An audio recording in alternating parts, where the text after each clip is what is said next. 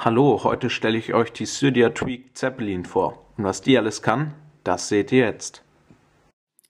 Dieses Video wird Ihnen präsentiert von konsolenpoint.de, Ihr Konsolenshop im Internet.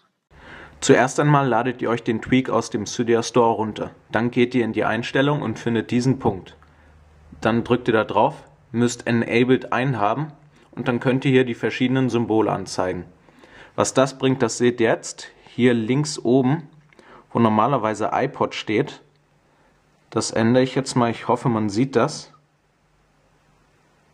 So, wenn er jetzt mal scharf stellt. Da ist jetzt das Android-Symbol. Das kann ich hier immer ändern, zum Beispiel in Batman, Beats by Dr. Dre und hier noch viele weitere. Äh, man kann sich auch selber einen zusammenstellen, aber da weiß ich noch nicht, wie das geht. Äh, ja, ist sehr lustig. Man braucht das Gerät nicht respringen, wenn man das ändert. Und ich kann die Tweak nur empfehlen. Sie ist kostenlos im Cydia Store erhältlich. Ladet sie euch runter und ja, gebt diesem Video einen Daumen hoch, abonniert mich und bis dann, euer App-Gedrehter.